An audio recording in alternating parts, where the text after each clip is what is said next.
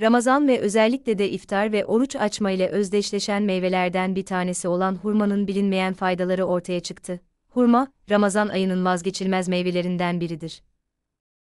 Özellikle iftar ve sahurda tüketilen hurma, çok sayıda vitamin ve mineral içerir.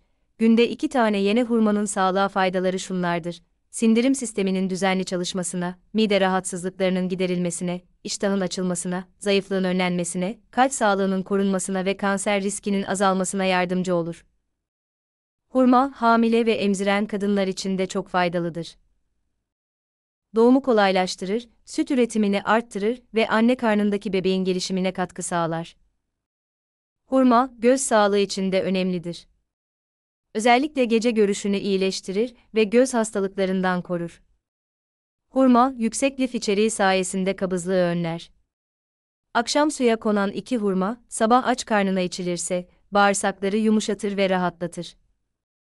Bu suya keten tohumu ve zeytinyağı eklenirse, etkisi daha da artar. Hurma, kötü kolesterol seviyesini düşürür, karaciğerin yağlanmasını engeller ve vücuttan toksinleri atar. Hurma, hücreleri yaşlanmaktan korur ve antioksidan özelliği taşır. Hurma, gençlik iksiri olarak da bilinir. Hurma, aç karnına yenildiğinde, bağırsaklardaki parazitleri öldürür. Hurma, sıvı alımını ve tansiyonu dengelemek için de ideal bir meyvedir.